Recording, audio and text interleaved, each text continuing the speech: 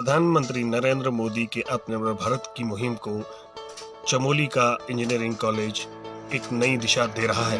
यहाँ मशीनों के ज़रिए इंजीनियरिंग कॉलेज के प्राध्यापक और छात्र इन दिनों कोरोना से लड़ने के लिए कई किस्म की छोटी छोटी मशीनें बना रहे हैं। जिन मशीनों के लिए आज तक हम बड़े बाजारों का मुँह ताकते थे।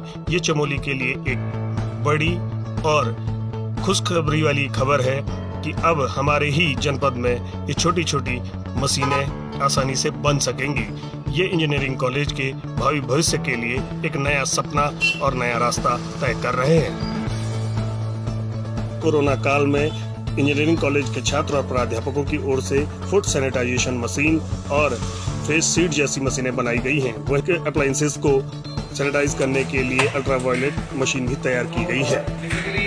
मैं आपको सब अब पता होगा आपको मैं इसको बता देता हूँ थोड़ा सा कि अगर कुछ ऐसी चीज़ें जिसको हम लोग स्प्रे हम कर रहे हैं, जैसे बहुत सारी चीज़ों पे कि हमने हमारा सब्ज़ियाँ हैं तो उसको बहुत बार बार धुलना पड़ रहा है, लेकिन सारी चीज़ों के ऊपर हम स्प्रे नहीं कर सकते। जैसे हमारा पर्स हो गया, हमारा मोबाइल हो गया, हमारी कीज़ हो गई गॉगल्स हो गए या करेंसी नोट्स हो गए डॉक्यूमेंट्स हो गए, सब्ज़ियाँ हो गई तो उनको हम स्प्रे से नहीं धुल सकते।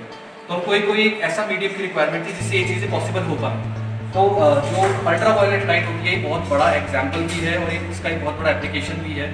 तो अल्ट्रा वायलेट रेज भी तीन तरह की होती है ए बी और सी जिसमें जो सी टाइप होती है, जिसका 100 से 280 एनएम यानी आपका इसका नैनोमीटर इसकी वेवलेंथ होती है शॉर्ट वेवलेंथ की वेव होती है, ये जर्मिसाइड इन नेचर होती है, यानी आपके बैक्टीरिया वायरसेस को मारने की क्षमता इस यूवीसी लाइट में होती है। और ये भी टाइप ऑफ़ वायरसेस के हिसाब से इसका डोसेज अलग होता है। जैसे आपका कोरोना वायरस है तो उसका यूवी डोसेज अलग होगा।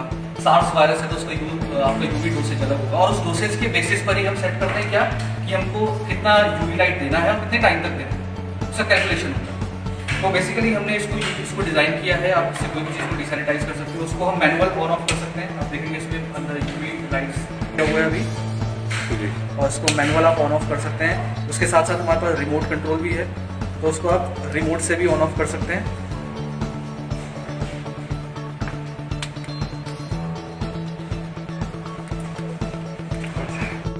उसके साथ साथ हम इसको गूगल होम ऐप से भी इसको कंट्रोल कर सकते हैं, उसको टाइमर भी सेट कर सकते हैं हमको इसको कब ऑन करना है, कितनी देर तक ऑन करना है तो आप उसको कमांड पहले से लेके रख सकते हैं। आपको बार बार उसको ऑन ऑफ़ करने की ज़रूरत नहीं है।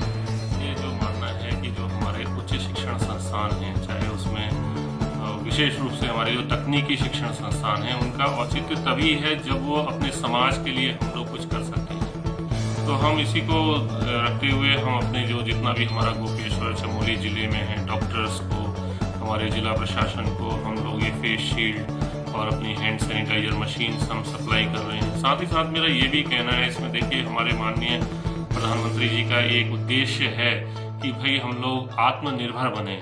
तो इसी आत्मनिर्भरता के क्रम में हमारे जो तकनीकी शिक्षण संस्थान हैं, उनको आगे आना पड़ेगा।